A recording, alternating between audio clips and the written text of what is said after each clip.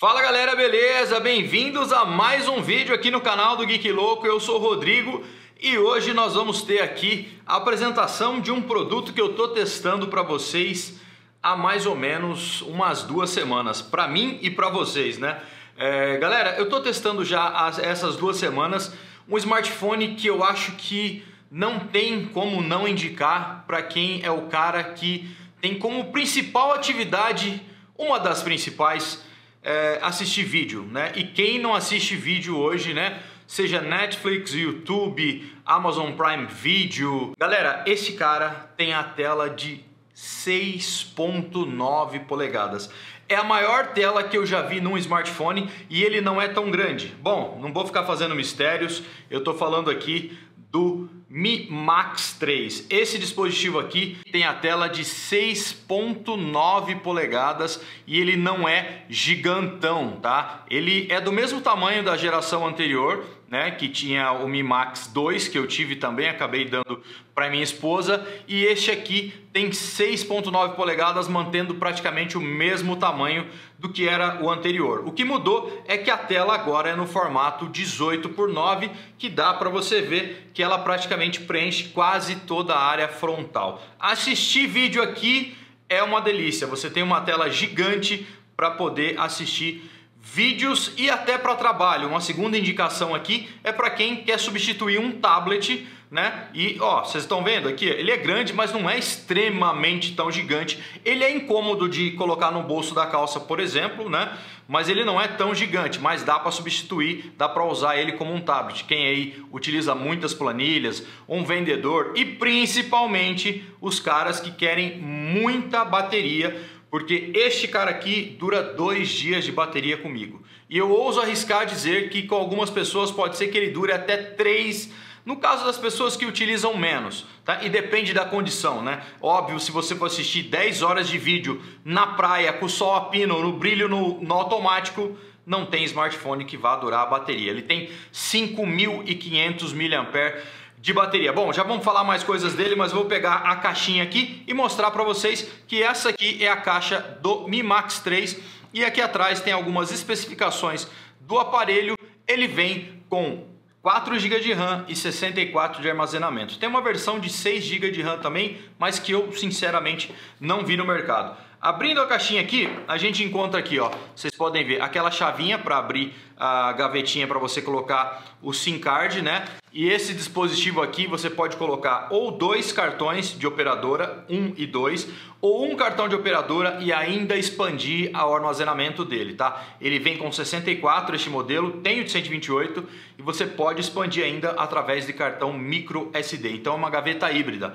Bom, continuando, aqui na caixa você encontra um carregador, que é um carregador já no padrão nacional, então você não precisa utilizar nenhum adaptador, ó. É um carregador aí de mais ou menos uns 12 watts, é um carregador rápido rápido, mas como você tem uma bateria grande pra caramba, então ele não carrega tão rapidinho assim. São 5.500 mAh de bateria e aqui você tem o cabo de transferência de dados e carregamento que é USB tipo C. Não, você não tem aqui uma micro USB, graças a Deus a Xiaomi colocou aqui na caixinha um cabo USB tipo C e mais nada na caixa. Não vem com fone de ouvido, mais nada. Smartphone, cabo e carregador, é isso que você encontra na caixinha do Mi Max 3. Dá uma olhada nessa tela aqui, pessoal. É uma tela de 6.9 polegadas, como eu disse para vocês, resolução de 2160 por 1080. Então é um Full HD Plus, né, nessa tela que é uma tela IPS, tá? Proporção 18 por 9, 350 ppi de densidade. Você pode pensar, pô, Geek, é uma densidade baixa.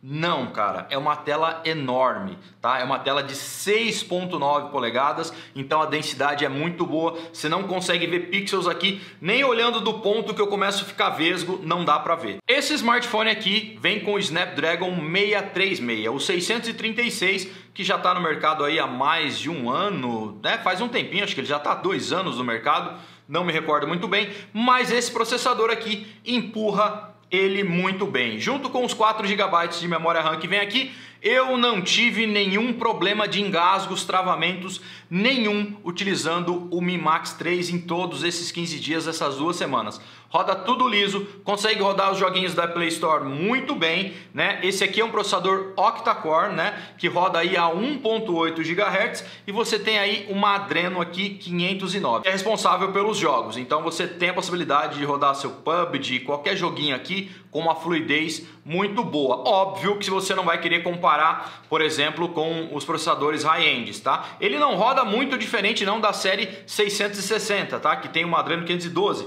Ele roda basicamente quase igual, um pouquinho abaixo, mas não tem nenhum problema para rodar esses jogos. E aqui a tela é gigante, cara, e tem bateria. Não adianta você ter tela e não ter bateria que dure. Então você tem as duas coisas nesse dispositivo. Tela e bateria. Então você tem diversão garantida para um dia todo, ou para jogos, ou para assistir vídeo, seja o que for que você quer fazer. Apesar dele não vir com fone de ouvido na caixa, como vocês viram, ele tem sim entrada para fone de ouvido, então você pode utilizar aqui seus fones de ouvidos tradicionais, os melhores que você tiver aí, sem precisar carregar um adaptador para ligar na USB-C. Então você tem aqui fone de ouvido no Mi Max 3. O áudio que sai dele aqui de baixo é um áudio ok, não é um áudio super bom, também não é um áudio ruim, é um áudiozinho na média, tá? Dá para escutar suas coisas muito bem, não é um áudio muito alto, mas pelo preço que o aparelho custa, eu acredito que entrega mais do que deveria. É um aparelho muito bom, com áudio legal e a saída de áudio pelos fones de ouvidos aí vai depender um pouco mais da qualidade do seu fone do que da saída de áudio aqui, mas o áudio é legal aqui no Mi Max 3. Aqui atrás você encontra o leitor de impressão digital. Então ele tem um leitor de impressão digital aqui na traseira, que é sim rápido, senhores. Ele desbloqueia muito rápido. Vocês estão vendo as câmeras aqui também que eu já vou falar para vocês. E o leitor está aqui. Desbloqueia rápido, não é um aparelho grosso também, é um aparelho fino e imagine só, ele parece ser mais pesado do que é, tá? Ele não é tão pesado assim. Tá, brincadeira, ele é pesadinho sim, ele pesa 221 gramas, ele é alumínio, né, na traseira e vidro aqui. Se ele fosse vidro nas duas partes pesaria um pouco mais, pesa 221 gramas, mas não é tão ruim não. Você acostuma se segurar isso aqui e acredito que o benefício seja maior que o desconforto de segurar essa tela. E agora falando um pouco de conectividade, pessoal, ele tem rádio FM este cara aqui, então você pode colocando uns fones de ouvido ouvido aqui escutar as suas rádios locais. Como eu disse, a saída aqui é USB tipo C. Você tem sim aqui GPS, GLONASS, tem todas essas funcionalidades, essas conexões.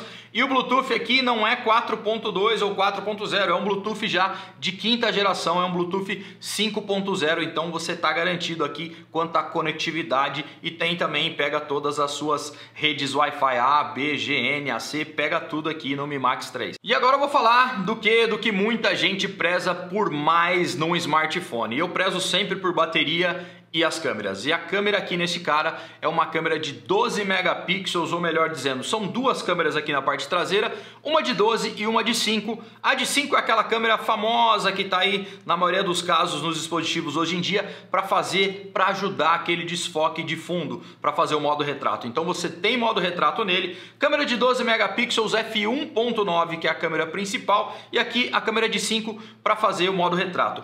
Não se engane, se você pode ter escutado pessoas pessoas falando aí que a câmera do Mi Max 3 é ruim.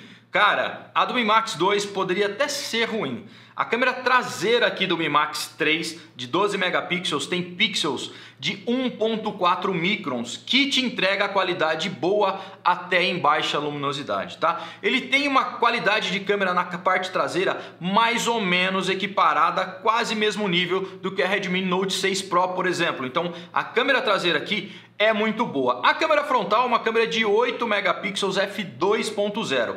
Já essa frontal, eu digo que não é das melhores câmeras para selfie. Se você for fazer selfie, por exemplo, num lugar bem menos iluminado ou com uma situação de luz meio adversa, você não vai ter umas selfies das melhores. É melhor você virar o dispositivo e fazer com a câmera traseira, que sim, é muito boa. Ele faz gravação de vídeo aqui em até 4K. Então, não posso deixar de falar que ele tem o modo retrato, então, e você consegue gravação de vídeo também com a câmera traseira. A frontal faz em Full HD e a câmera traseira aqui faz vídeos em 4K, 30 frames por segundo. Você consegue slow motion aqui a 120 quadros por segundo. A gravação de vídeo aqui também é muito boa. A estabilização é normal, não é uma estabilização nossa, como ele tem uma estabilização digital excelente. É uma boa estabilização, então eu diria que você está muito bem servido aqui quando você quer assistir o conteúdo ou quando você vai gravar o conteúdo, principalmente com a câmera traseira. A frontal é uma câmera okzinha. Ah, pessoal, já ia esquecendo e eu não posso deixar de falar isso aqui porque tem muita gente que preza demais por isso aqui.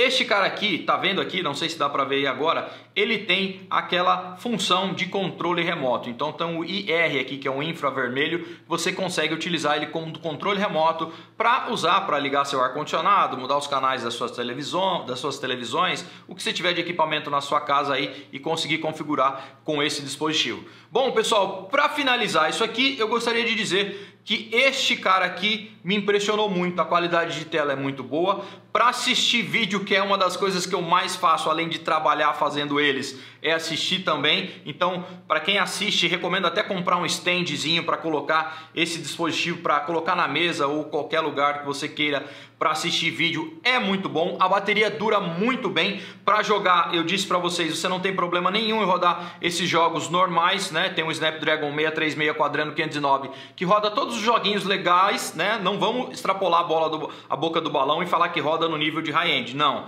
Mas é muito bom. A bateria principalmente dura demais, a câmera traseira é boa, a frontal disse que, né, mais ou menos, né, não é das melhores, mas sim, cara, pelo preço que custa, geralmente aí na casa dos mil reais que você pode encontrar. Aliás, tem link na descrição, só procurar aí que você encontra os links para esse aparelho aqui e vários outros.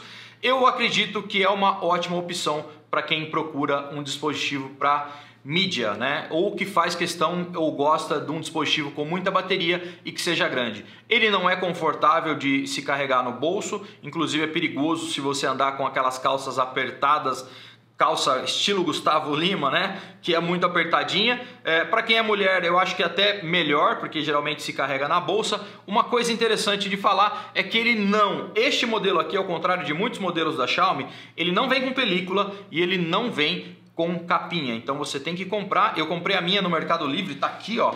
ó a capinha dele tá aqui, acho que eu paguei coisa de 30 reais. E ele não vem com película nem com capinha. Então você tem que adquirir uma. Beleza, galera? Esse foi o vídeo então do Mi Max 3, um grandalhão de respeito. Beleza, pessoal? Se não se inscreveu no começo do vídeo, se inscreve agora no canal, deixa um like aí para fortalecer e até o próximo vídeo. Tchau, tchau.